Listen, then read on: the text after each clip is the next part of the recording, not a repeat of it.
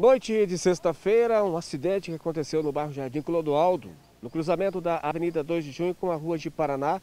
A guarnição composta pelos policiais militares Sargento Samuel e Cabo Lacerda é que estiveram aqui no local para os atendimentos aí também da vítima que estava na motocicleta. Envolveu aí também um automóvel. A unidade de resgate do Corpo de Bombeiros esteve no local também. Eu converso agora com o Cabo Lacerda. Quais informações vocês conseguiram colher aqui a respeito do que ocorreu nesse acidente? Olha, a princípio, né, se trata de uma colisão entre dois veículos, um automóvel e uma motocicleta, onde a motocicleta invadiu a preferencial, né, vinha da Paraná, invadiu a preferencial quando o automóvel é, colidiu com ela. Agora, observando pela força do impacto aí que aconteceu aqui, a, a marca no asfalto, a, o veículo como é que ficou, Aí o pessoal teve muita sorte, né, o condutor da motocicleta, né? Vocês quando chegaram, ele estava aqui no local ainda. Sim, quando nós chegamos, o condutor da motocicleta já ainda estava no local, ao solo aqui, né? Muito ralado, é, é, muito sangue. É, a princípio não tinha nenhuma fratura exposta, né?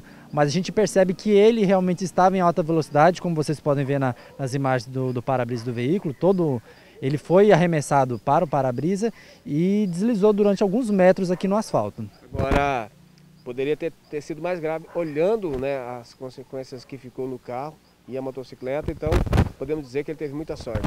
Ele teve sorte, nasceu de novo. E porque quando a gente junta velocidade com a força do impacto, geralmente é, é muito raro ter um acidente de trânsito que não tenha nenhuma fratura ou nenhum ossos quebrados, essas, essas coisas, né? Até porque a, dentro do automóvel tinha uma criança, né?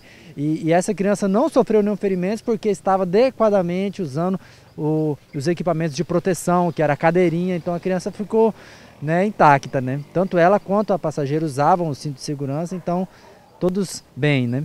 Agora, como o senhor mencionou, dentro do veículo uma criança, e se não estivesse adequadamente usando as regras que é exigida, possivelmente a criança poderia ter sentido aí é, as consequências porque é uma bebezinha. Sim, é, a criança está em fase de desenvolvimento, né? Então se a gente pega uma batida, uma colisão assim, muito forte, né? As crianças têm os ossos frágeis, né?